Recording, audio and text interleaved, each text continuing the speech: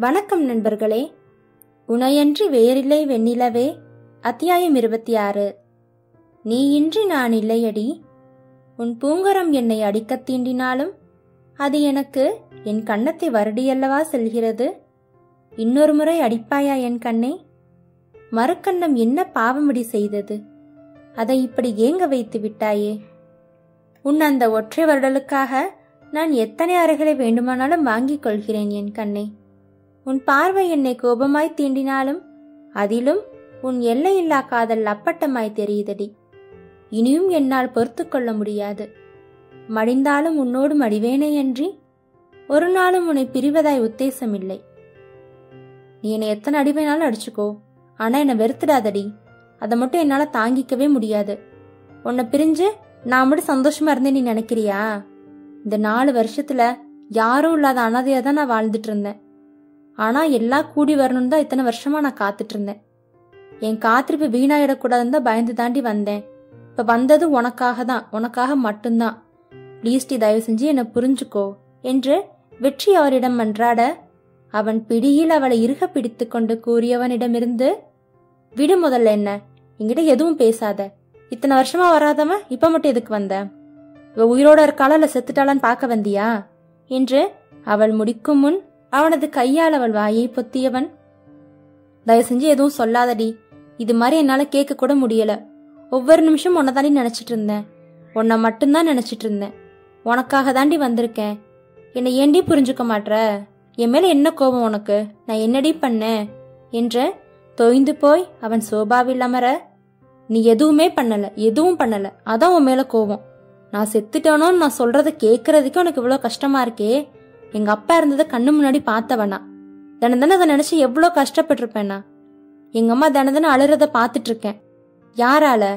இப்படி ஒரு மகளை பெத்ததால தானே? என்னாலதான் எங்க அப்பா இறந்துட்டாருன்னு ஒவ்வொரு நிமிஷமும் துடிச்சிட்டு இருக்கேன் இத்தனை நாள் எங்க போனீங்க? எங்க அப்பாவை எனக்கு எவ்வளவு பிடிக்கும்னு உனக்கு தெரியும்ல? அவர் இல்லாம ஒத்தையால நான் எவ்வளவு கஷ்டப்பட்டிருப்பேன். அப்ப நீ எங்க போன? உங்க அப்பா மாதிரி தானே நீயும் இருப்ப. அதே வீம்பு அதே வைராக்கியம் அதே பிடிவாதம். யார் எப்படி போனா என்ன? நீங்க நினைச்சது மட்டும் நடந்தா போதும். அப்படிதானே இல்லடி சத்தியமா இல்ல. நான் கொஞ்சம் கூட எதிர்பார்க்கலடி. மாமா இறந்த விஷயமே எனக்கு தெரியாது. இங்க இருந்து போய் நான் யார்கிட்டயுமே தொடர்பு வச்சுக்கல. அதனால மாமா இறந்த விஷயம் எனக்கு தெரியாது. சத்தியமா தெரியாதுடி. தெரிஞ்சிருந்தா நான் அப்பவே வந்திருப்பேன். ஒரு வருஷம் கழிச்சுதான் எனக்கு தெரியும். என்று அவளிடம் கூறிக்கொண்டிருந்தவனே ஓ அப்ப உனக்கு மூணு வருஷத்துக்கு முன்னாடி இந்த விஷயம் தெரியும். அப்படி தெரிஞ்சிருந்து இந்த மூணு வருஷமா நீங்க என்ன வந்து பார்க்கல? அப்ப இதுக்கு என்ன அர்த்தம்? இப்ப மட்டும் எதுக்கு வந்த? இந்த நாலு வருஷத்துல ஒவ்வொரு நாளும் ஒவ்வொரு தடவை போன் அடிக்கும் போது அது நீயா இருக்க மாட்டியா? என்கிட்ட பேச மாட்டியான்னு துடிச்ச துடிப்பு எனக்கு தானே தெரியும். ஒவ்வொரு தடவை நான் வெளியில போகும்போது எங்கேயாவது உன்னை பாத்துட மாட்டேன்னு எனக்கு கண்ணு எவ்வளோ ஏங்குச்சு தெரியுமா? இப்ப நீ வந்து மன்னிப்பு கேட்டா நடந்ததெல்லாம் இல்லைன்னு ஆயிருமா? இல்லை நீ செஞ்சதெல்லாம் சரின்னு சொல்றியா? உன்னை தானே முழுசா நம்பியிருந்தேன். எப்போ நீ என்னை விட்டு போக மாட்டேன்னு நம்பியிருந்தேனே. எதுக்காகவும் நீ என்னை விட்டு கொடுக்க மாட்டேன்னு நம்பியிருந்தேன். ஆனா இந்த நாலு வருஷமா நீ நரகத்துல தள்ளிட்டு போயிட்ட? இந்த நரகத்துல புழுவா தவிக்க விடதான் என்னை மாஞ்சு மாஞ்சு காதலிச்சியா நீ? சொல்லுடா சொல்லு.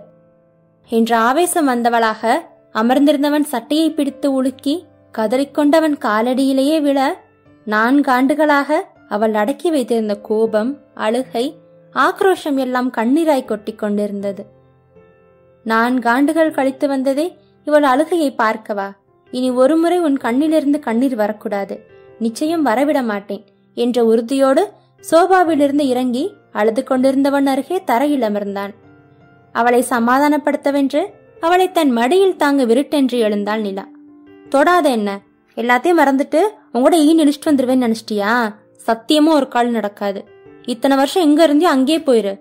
என் மூஞ்சிலே முழிக்காத. இனி நான் திரும்ப என் வாழ்க்கையில உன்னை பார்க்கவே கூடாது என்று ஆக்ரோஷமாக கத்தியவளை. அப்போ வேற என்ன பண்ணலான்னு இருக்க? செல்வமணனை கல்யாணம் பண்ணிக்க போறியா? இல்ல அவரோட வசதியான மாப்பிள்ள வேற யாராச்சும் பார்த்து வச்சிருக்காங்களா உங்க அம்மா? அவனை கல்யாணம் பண்ணிக்க போறியா? என்று கோபம் பொங்கும் பார்வையோடு அழுத்தமான குரலில் கேட்ட வெற்றி இல்ல நம்ம இவ்வளவு வசதியா இருக்கமே இவன் போன மாதிரி திரும்ப பிச்சைக்கார மாதிரியே வந்திருக்கானே இவன் எப்படி கல்யாணம் பண்றதுன்னு யோசிக்கிறியா? நான் சாதாரண வந்தாமா? உன் அளவுக்கு எனக்கு வசதி இல்ல சொல்லிக்கிற மாதிரி சொத்து பத்தும் இல்ல. எங்க அப்பாவோட சொத்து நான் வேண்டான்னு சொல்லிட்டேன். அதனால அவங்களோட சொத்து எனக்கு கிடைக்காது. நான் சாதாரண மாச சம்பளக்காரன்.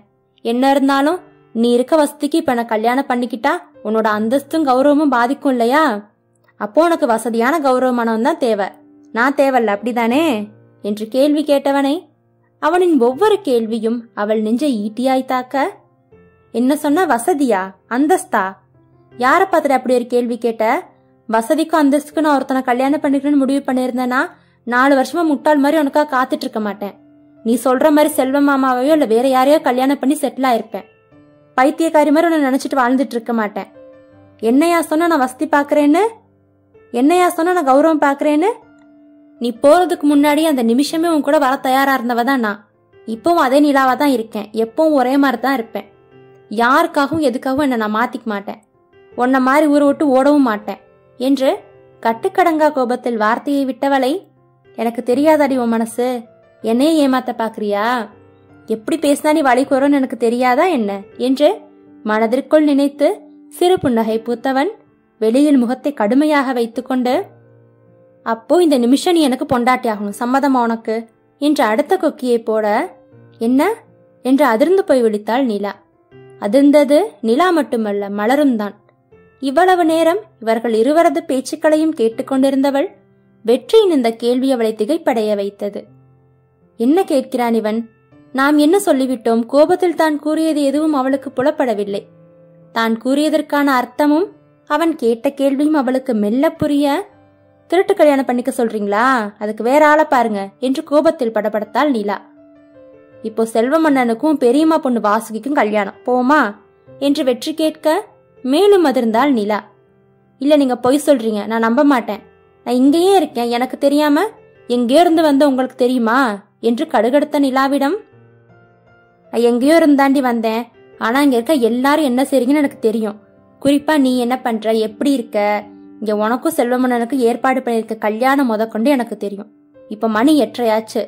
ஒன்பதரைல இருந்து பத்தரை வரைக்கும் முகூர்த்தம். அந்த டைம்ல அவங்க கல்யாணம் நடக்க போகுது.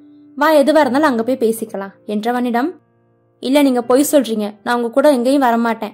என்னை ஏமாத்தி கூட்டிட்டு போய் திருட்டு கல்யாணம் பண்ண பாக்குறீங்களா? ஊருக்கு தெரியாம இப்படி திருட்டு கல்யாணம் பண்ணிட்டு வாழணும்னு எனக்கு அவசியம் இல்ல. நாலு பேர் முன்னாடி தாலி கட்டி வாழ்ற வாழ்க்கை தான் எனக்கு வேணும். உங்க அப்பா சொன்ன மாதிரி ஊருக்கு தெரியாம கல்யாணம் பண்ணிட்டு வாழ்ற வாழ்க்கை எனக்கு தேவையில்ல. அப்படி ஒரு வாழ்க்கை வாழ்றதுக்கு நான் வாழ்நாள் பூரா இப்படியே இருந்துக்குவேன். என்று நிமிர்வுடன் கூறிய நிலாவை பார்த்து வெற்றிக்கு பெருமிதமாயிருந்தது பேச்சு மாற மாட்டியே. அப்ப எல்லார் முன்னாடியும் நான் தாலி கட்டினா மறுக்காம ஏத்துக்குவ. இப்ப இங்க சொல்ற வார்த்தையை நீ மாத்தி பேசக்கூடாது. என்று வெற்றி மேலும் அவளை தூண்ட அது நடக்கிறப்ப பாத்துக்கலாம். கண்டிப்பா எல்லார் முன்னாடி நம்ம கல்யாணம் நடக்கணும்னு அது இந்த ஜென்மத்துல நடக்காது. நடக்காத உன்னை பத்தி திரும்ப திரும்ப பேசி ஏன் என் கழுத்தா இருக்கிறீங்க? போங்க இங்க இருந்து முதல்ல. உங்களை பார்க்கவே எனக்கு பிடிக்கல. உங்ககிட்ட பேச எனக்கு பிடிக்கல. என் தலையெழுத்து எப்படியோ அப்படியே ஆகட்டும். என்று மீண்டும் ஆக்ரோசமாக கூறியவளை அப்படியா நான் போட்டுமா? ஆனா இப்ப நான் போன திரும்ப இந்த ஜென்மத்துல நீ என்னை பார்க்கவே முடியாது. அதுதான் நீ விரும்புறியா? அதான் உன் விருப்பம்னா கண்டிப்பா அதை நான் நிறைவேற்றுறேன் என்று கூறியவன் அவள் பதில் கூறும் முன் விடுவிடுவென கதவை திறந்து கொண்டு வெளியேற அவன் சென்றதும் அந்த தானியங்கி கதவு தானாய் மூடிக்கொண்டது. தன் உயிரே தன்னை விட்டு பிரிவதாய் பரிதவித்து போனாள் நிலா. போயிட்டானா? நான் சொன்னா போயிருவானா? அவ்வளோ ரோஷமா அவனுக்கு. இனிமே வரவே மாட்டானா? இனி அவனை பார்க்கவே முடியாதா?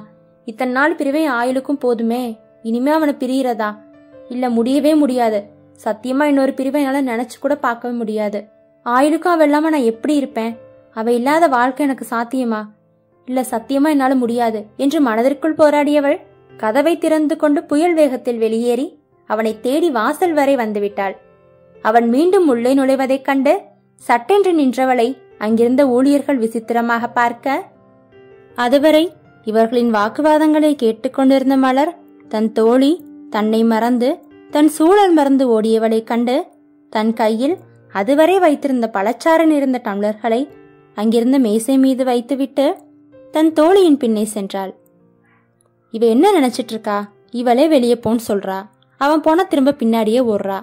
எதுக்காக இவளையும் கஷ்டப்படுத்திட்டு அவனையும் கஷ்டப்படுத்துறா? என்று நினைத்தவாறே அறையை விட்டு வெளியே வர அவனை பார்த்ததும் நின்று விட்டவளை உள்ள வானிலா எல்லாரும் பார்க்கறாங்க என்றபடி அவளின் கைப்பற்றி அழைத்து செல்ல அவனை பார்த்தபடியே அவன் தன் கைப்பற்றியதை கூட உணராது அவன் பின்னே சென்றாள்.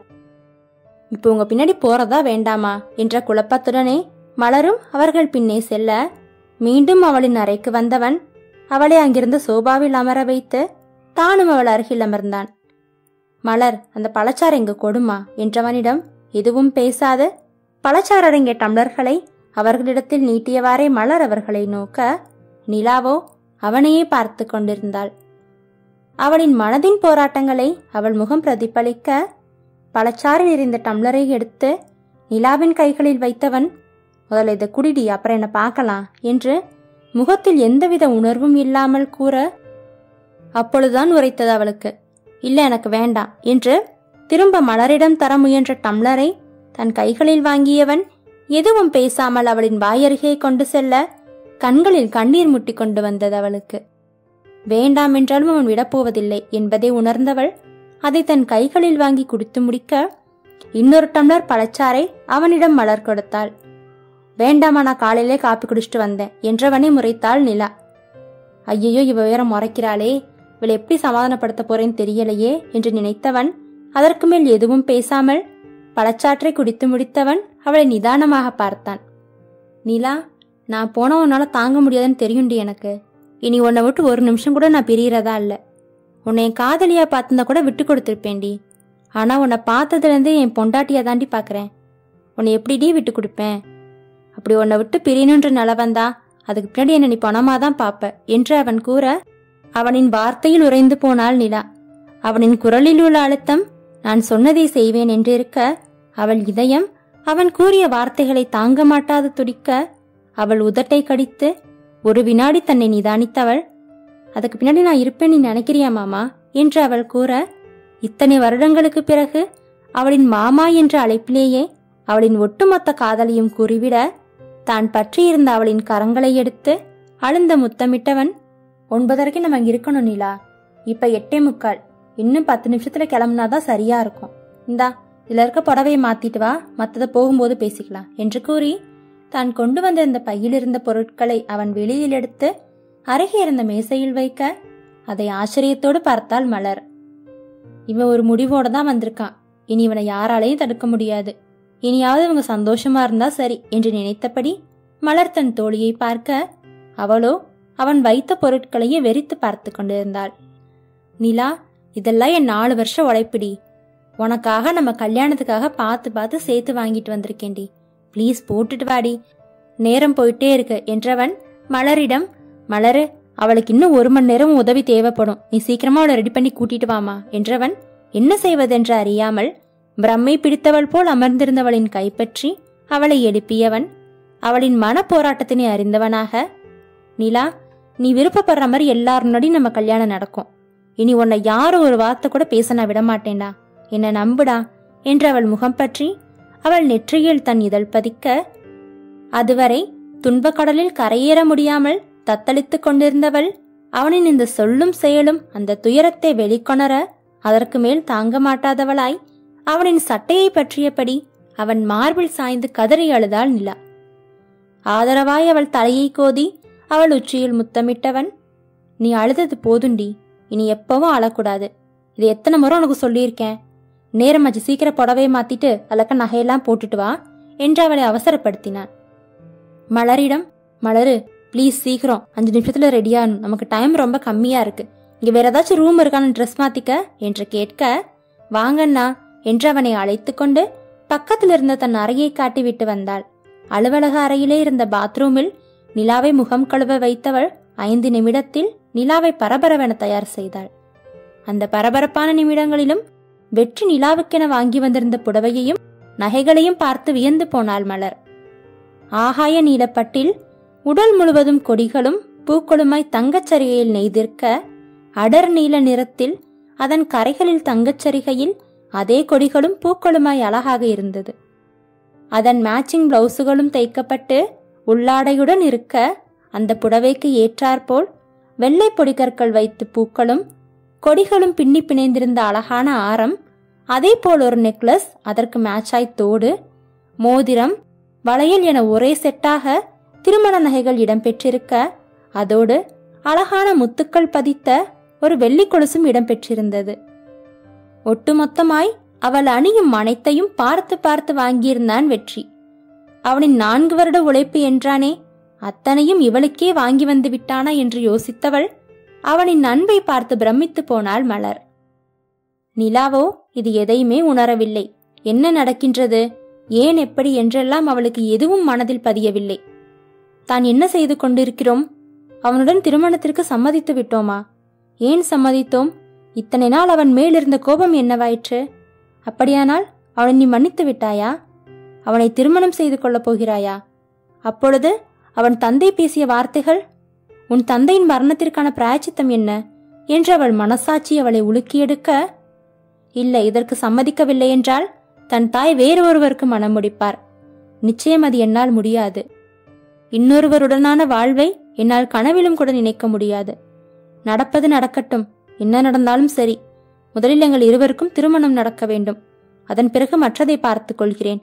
என்று கண்ணை மூடி ஒரு உறுதியான முடிவுடன் தன்னை நிதானத்திற்கு கொண்டு வந்தாள் நிலா. மேலும் ஐந்து நிமிடம் தாமதமாகியிருக்க முழுவதும் தயாராகி நிலாவுடன் வெளியே வந்த மலர் அங்கு மாப்பிள்ளை கோலத்தில் பட்டு வேட்டி சட்டையுடன் நின்றிருந்த வெற்றியை பார்த்தாள். அவன் அருகில் நின்றிருந்த தன் கணவனையும் பார்த்தவள் ஓ உனக்கு தகவல் சொல்லிட்டு தான் வந்திருக்கானா பக்கிப்பைய நம்ம கிட்ட சொல்லிச்சா பாரு. எப்படியோ அவ வாழ்க்கை சந்தோஷமா அமைஞ்சா அதுவே போதும். என்ன பிரச்சனை வந்தாலும் ஃபேஸ் பண்ண வேண்டியதா என்று நினைத்தவள் நிலாவை அழைத்து கொண்டு வெற்றியிடம் செல்ல எந்தவித ஒப்பனையும் இல்லாது துடைத்து வைத்த குத்துவிளக்காய் தான் வாங்கி வந்திருந்த புடவையையும் நகைகளையும் அணிந்து கொண்டு வந்த நிலாவை பார்த்து பிரமித்து போனான் வெற்றி. அப்பொழுதும் கூட தான் ஏற்கனவே அணிவித்திருந்த சங்கிலியை அணிந்திருந்தவளைக் கண்டு அவன் மனம் நெகிழ்ந்து போனது. இனி எப்பவும் உன்னை பொக்கிஷமா வச்சு பார்த்துப்பேண்டி உன் கண்ணிலிருந்து ஒரு சொட்டு கண்ணீர் வர விட மாட்டேன். யாருக்காகவும் எதுக்காகவும் உன்னை விட்டு கொடுக்க மாட்டேன் என்று மனதில் உறுதி எடுத்தவள் அவர்களை பார்த்து போலாமா என்று கேட்க மலரோ அண்ணா ஒரு நிமிஷம் குழந்தையை பார்த்துட்டு வந்துடுறேன் என்று கூற வெங்கட்டோ அதெல்லாம் நான் பார்த்துட்டேன். அவன் தூங்கிட்டு இருக்கான். இப்பதான் தூங்கி இருக்கான் இன்னும் ரெண்டு மணி நேரத்துக்கு எந்திரிக்க மாட்டான். அந்தம்மா பாத்துக்குவாங்க நீ வா போலாம் என்று மலரை அழைக்க உங்க கல்யாணம் முடியட்டும்டா உனக்கு இருக்கு அப்புறம் கச்சேரி என்று நினைத்த மலர் அங்கிருந்த நிர்வாகிகளிடம் பொறுப்பை ஒப்படைத்துவிட்டு நிலாவை அழைத்துக் கொண்டு வெளியே வந்தவர்கள் நிலாவின் காரில் கிளம்ப வெங்கட் முன்னிருக்கையில் ஏறிக்கொள்ள மலரும் நிலாவும் வெற்றியும் பின்னால் ஏறிக்கொள்ள அந்த பரபரப்பான காலை வேளையில் கோவையின் நெருக்கடி மிகுந்த சாலையில் மருதமலை நோக்கி புறப்பட்டது அவர்களது கார். செல்லும் வழியில் வெற்றி வழக்கமாக வெண்ணிலாவிற்கு பூ வாங்கும் கடை வர டிரைவரிடம் சொல்லிவிட்டு இறங்கியவன் அப்பொழுதுதான் கட்டியிருந்த மல்லிகைச் சரங்களை பார்த்து அனைத்தையும் வாங்கிக் கொண்டு பாட்டி நல்லா இருக்கீங்களா? என்று கேட்டவனை அப்போதுதான் அடையாளம் தெரிந்தது அவருக்கு. ஐயா ஏ ராசா நல்லா இருக்கியாயா? எனக்கு அடையாளமே தெரியலையா? எப்படியா இருக்க? வெளியூர் போயிட்டியாயா? என்று மொத்த கேள்வியையும் ஒரே மூச்சில் கேட்க ஆமா பாட்டி எனக்கு எனக்கு கல்யாணம். அதனால இருக்கிற மொத்த பூவையும் கொடுங்க என்று கூற அப்படியா ராசா என்று நிமிடத்தில் அனைத்தையும் அவர் கையில் கொடுக்க வெற்றி கடையில் இருந்த மொத்த பூவையும் வாங்கி கொண்டவன் அதிலிருந்து ஒரு சிவப்பு ரோஜாவையும் ஒரு மஞ்சள் ரோஜாவையும் எடுத்து கையில் வைத்துக் கொண்டான்.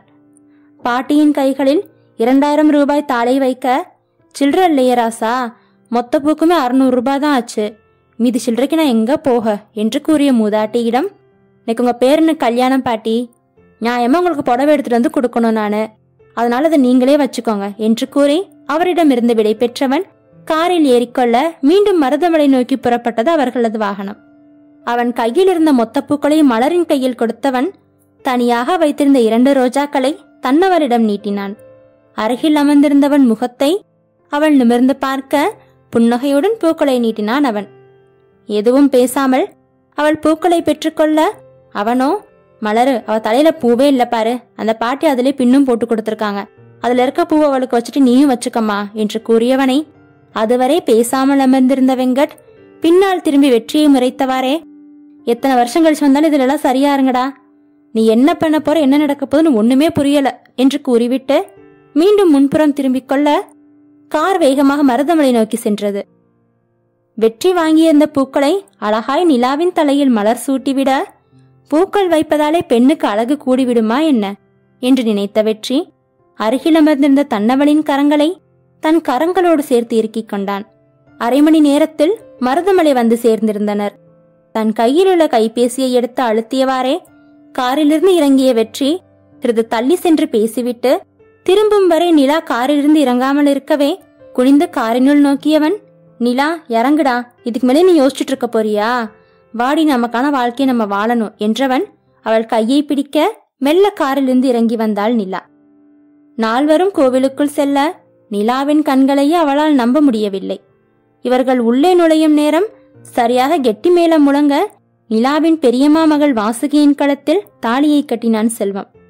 அங்கே இருந்த உறவு கூட்டங்களை பார்த்த நிலா ஆச்சரியப்பட்டு நிற்க வைதேகியின் உடன் பிறந்த மொத்த குடும்பமும் அங்கே நின்றிருக்க நிலாவின் பெரியப்பாக்களும் அவர் குடும்பமும் ஒரு புறம் இருக்க ராஜேஸ்வரியும் சக்தி தன் மனைவியோடும் என சகல குடும்பங்களும் அங்கே இருந்தது என்ன நடக்கின்றது இங்கே? இது எப்படி சாத்தியம் என்று நிலா வெற்றியை நோக்க அவன் மெல்ல கண்களை மூடி திறந்து நான் இருக்கிறேன் கவலைப்படாதே என்பது போன்றே பாவனையில் கண்களாலே சொன்னவனை ராஜேஸ்வரி வெற்றி என்ற கதறலோடு வந்து அணைத்துக் கொண்டார். அம்மா என்று ராஜேஸ்வரியை அணைத்துக் கொண்டவன் என்னை மன்னிச்சிடுமா? என்று கூறி அவரின் காலில் விழ அவனை தூக்கி நிறுத்தியவர் அருகிலிருந்த நிலாவின் முகத்தை பற்றி அவள் நெற்றியில் முத்தமிட்ட ராஜேஸ்வரி எங்க நீ வராம போயிடுவேன்னு நான் ரொம்ப பயந்துட்டேன் கண்ணு என்று கூறியவர் முகூர்த்த நேரம் முடிகிறக்குள்ள ரெண்டு பேரும் போய் மனையில உட்காருங்கப்பா என்று ராஜேஸ்வரி கூற நிலாவின் கண்களோ வெற்றியை நோக்கியது. அந்த இடத்தில் வைதேகியும் இல்லை சிவசுவும் இல்லை. அவர்கள் இல்லாமல் நம் திருமணமா? என்று கேட்பது போல் இருந்தது அவள் பார்வை. அதற்குள் நிலாவின் பெரியப்பா அவளை நெருங்கி கண்ணு ஒன்னும் யோசிக்காத. உன் அம்மாவும் சிவசுமாமாவும் இப்ப வந்துடுவாங்க வெற்றி எங்க எல்லாட்டையும் பேசி சம்மதத்தோட தான் அந்த கல்யாணத்துக்கு ஏற்பாடு பண்ணியிருக்கான். இந்த கல்யாணத்துக்கு நாங்க எல்லாரும் மனப்பூர்வமா சம்மதிக்கிறோம். இப்போ உங்க அம்மாவும் சிவசுமாமாவும் வருவாங்க. அவங்க முன்னாடி தான் உன் கழுத்துல வெற்றி தாலி கட்டுவான். நீ பயப்படாத போய் மனையில உட்காருமா என்று கூற அடுத்தடுத்த காரியங்கள் மும்முரமாக நடைபெற்றது. வெற்றிக்கும் நிலாவுக்கும் மணமாலைகள் போடப்பட ராஜேஸ்வரி தான் செய்து கொண்டு வந்திருந்த பதினாறு பவுன் தாலியை எடுத்து ஐயரிடம் தர அவர் அந்த பொன் தாலியை சுவாமியின் பாதத்தில் வைத்து வணங்கிவிட்டு அச்சதை தட்டில் வைத்து அனைவரது ஆசியையும் பெற்று வந்து வேத மந்திரம் முழங்கிக் கொண்டிருக்க நிலாவின் கண்களோ அந்த கூட்டத்தில் தன் தாயையும் சிவசுவையும் தேடியது. வெளியிலிருந்து மளமளவென உள்ளே வந்த வெங்கட் கெட்டிமேளம் கெட்டிமேளம் என்று குரல் கொடுக்க ஐயர் தாலியை எடுத்து வெற்றியின் கையில் தர அதை தன் கைகளில் வாங்கிய வெற்றி ஒரு நிமிடம் நின்று நிதானிக்க அங்கிருந்த உறவு கூட்டங்களை பிரித்துக்கொண்டு வைதேகியும் சிவசும் ஒரு சேர உள்ளே நுழைந்தனர். நிலா அவர்களை பார்த்துவிட உறவு கூட்டங்களை விலக்கிக் கொண்டு வைதேகி வந்து தடுக்கும் முன்னே கெட்டி மேல சத்தம் முழங்க வேத மந்திரங்கள் ஒழிக்க பெரியவர்கள் அச்சதை தூவ மருதமலை முருகனின் பாதத்தில் வைத்து வணங்கிய பொன் தாலியை நிலாவின் கழுத்தில் அணிவித்தான் வெற்றி. கண்ணை மூடி தன்னவன் அணிவித்த தாலியை தன் கழுத்தில் வாங்கி கொண்டவள் ஆண்டவா என் அப்பா இறந்ததுக்கு அப்புறம் உன்னை நான் வணங்கவே இல்லை. ஆனா உன் சன்னிதானத்துல நடந்த இந்த கல்யாணம் என் அம்மாவோட சம்மதம் இல்லாமையும் அவர் அப்பாவோட எதிர்ப்பையும் மீறி நடந்திருக்கு. அவங்க மனசு சமாதானம் ஆகணும் கடவுளே. என்னைக்கு அவங்க எங்க கல்யாணத்தை ஏத்துக்கிறாங்களோ அன்னைக்கு தான் எங்க வாழ்க்கையை தொடங்கணும். கடவுளே எங்களை சோதிச்சது போதும். இனியும் சோதனையை தாங்குற சக்தி எனக்கு இல்ல. எங்களை காப்பாத்து. என மனமுருகி அந்த மருதமலை முருகனிடம் வேண்டிக்கொள்ள அவள் கண்களிலிருந்து கண்ணீர் வலிய அதை தன் கரங்களால் துடைத்து விட்டான் வெற்றி. அவள் கரங்களை தன் கரங்களால் அழுந்த பற்றியவன் நிலா இப்போ நீ என் மனைவி. நீ நம்மளை யாராலையும் பிரிக்க முடியாதடி என்று உணர்ச்சி வசப்பட்டு கூற அவனை நிமிர்ந்து நோக்கியவளை தான் சாதித்து விட்டதை எண்ணி அவள் முகம் பற்றி அவள் உச்சியில் அழுந்த முத்தமிட்டான் அவள் காதல் கணவன். இவர்கள் சேர வேண்டும் என்று உண்மையிலே விரும்பியவர்கள் அவனின் இந்த செய்கையால் ஓவென கத்தி ஆரவாரம் செய்ய சிவசுவை நிலாவின் தாய்மாமக்கள் சூழ்ந்து கொள்ள வைதேகியை நிலாவின் பெரியம்மாக்கள் மாக்கள் ஒருபுறம் பிடித்துக்கொண்டு சமாதானப்படுத்த அங்கே வெற்றி நிலாவின் நெற்றியிலும் அவளது உச்சி வகிட்டிலும் தன் கரங்களால் குங்குமம் வைத்து அவளை தன் மனைவியாக்கிக் கொண்டு மாலை மாற்றி அக்னியை வலம் வந்து திருமணச் சடங்கை முழுதாக முடித்தான். வைதேகியோ பெரும் கோபத்தில் இருந்தவர் என்னை ஏமாத்திட்டில்லடி என் தலையில மண்ணள்ளி போட்டல்ல உங்க சொன்னதை நீ நடத்தி காட்டிட்ட. இன்னையோட அம்மா செத்துட்டான்னு நினைச்சுக்கோ என் மூஞ்சிலே முழிக்காத என்று கூறிவிட்டு வேகமாக அந்த இடத்தை விட்டு நகர செய்வதறியாது திகைத்து நின்ற நிலாவை பற்றியது இருக்கரங்கள் ஒரு புறம் தன்னை தாலி கட்டி மனைவியாக்கி கொண்ட வெற்றி அவளின் கரத்தை பற்றி இருக்க மற்றொரு கரத்தை பற்றியது யார் என்று கண்ணீர் தழும்பும் விழிகளுடன் நிமிர்ந்து பார்த்தாள் அவள். அந்த கரத்தை பற்றியது வேறு யாரும் இல்லை. நிலாவின் சகோதரன் வருண் தான் வருண் என்று அவனை அழைத்தவளை அக்கா அம்மாவை நான் பாத்துக்கிறேன்க்கா மாமா ஏற்கனவே எல்லாத்தையும் பேசிட்டாருக்கா. அதனால தான் நான் வர்றதுக்கு லேட் பண்ணேன். நான் போய் அம்மாவை பாக்குறேன்க்கா இனிமையாச்சும் நீ சந்தோஷமா இருக்கணும்க்கா. போதும்க்கா நீ பட்ட கஷ்டம்லாம். நீ அம்மாவை நான் பாத்துக்கிறேன்க்கா நீ பொறுமையா மாமாவோட வா என்று கூறிவிட்டு அவன் சென்றுவிட திரும்பி தன்னவனை பார்த்தவள் என்னை தவிர எல்லார்கிட்டே பேசியிருக்கல்ல? என்றவளை உன்கிட்ட முதல்ல பேசியிருந்தா நம்ம கல்யாணம் நடக்கும்னு நினைக்கிறியா நீ? என்றவன் யாரும் அறியாமல் அவள் இடையில் கை வைத்து இறுக்கி பிடிக்க இதை சற்றும் எதிர்பாராதவள் அதிர்ந்து போய் அவனை பார்த்து விழிக்க அவனும் தன் இதழை கூட்டி முத்தமிடுவது போல் செய்து காட்ட சட்டன தலையை குனிந்து கொண்டாள் நிலா. இவனை கல்யாணம் பண்ணிக்கிட்டா எல்லாத்தையும் மறந்துட்டு இவனை ஏத்துக்கிட்டேன்னு நினைச்சிட்டானா? என்று நினைத்தவள் தன் தாய் கூறியதை எண்ணி மிகவும் கலக்கமடைந்தாள். எப்படி நடந்திருக்க வேண்டிய திருமணம்? இப்படி தன் தாயின் சம்மதமின்றி நடந்ததை நினைத்து நிலா மிகவும் வருந்தி போயிருந்தாள். ஆனால் இந்த திருமணம் நடக்காமல் இருந்திருந்தால் தன் நிலையை எண்ணி பார்த்தவளுக்கு இப்பொழுது தாயை சமாதானப்படுத்துவது ஒன்றே குறிக்கோளாயிருந்தது. உனையன்றி வேறில்லை வெண்ணிலவே அத்தியாயம் இருபத்தி ஆறு நிறைவடைந்தது. நன்றி.